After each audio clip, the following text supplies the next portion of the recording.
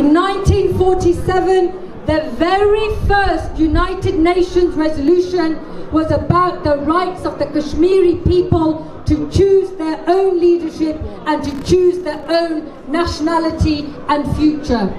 Over 70 years have gone by and that resolution was not implemented.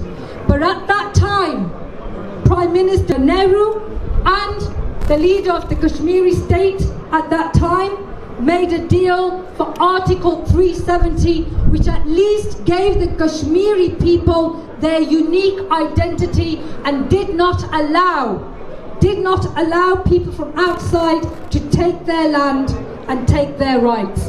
This is what Article 370 is about. And the fact it's been removed, it's important we understand this. What it means is that the whole Kashmiri identity will wiped out. This is political, cultural genocide.